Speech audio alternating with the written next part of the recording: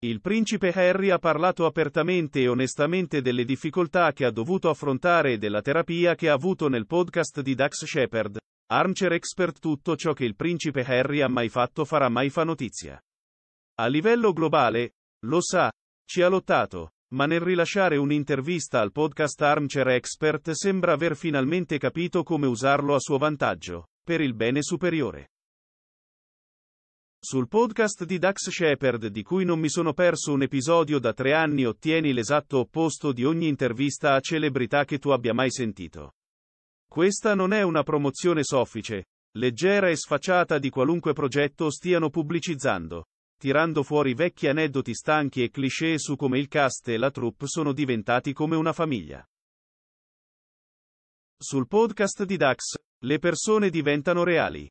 Come dice il presentatore, a titolo di introduzione, sono infinitamente affascinato dalla confusione dell'essere umano e trovo che le persone che sono vulnerabili e oneste riguardo alle loro lotte e ai loro difetti siano incredibilmente sexy.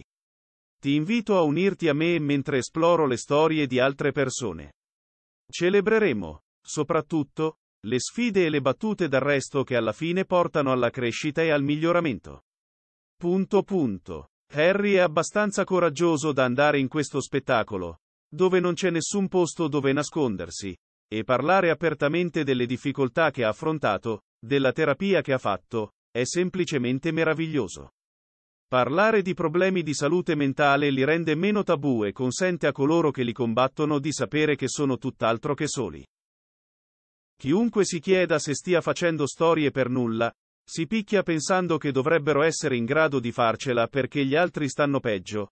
Può ascoltare un principe letterale che ammette di trovare la vita difficile a volte e concedersi una pausa. Harry è una pubblicità fantastica per la terapia.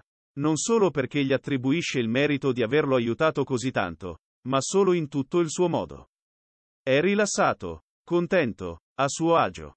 È consapevole della realtà della sua vita ed è determinato a mantenere tutto ciò che ha imparato e sperimentato in prima linea nella sua mente mentre fa da genitore ai suoi figli.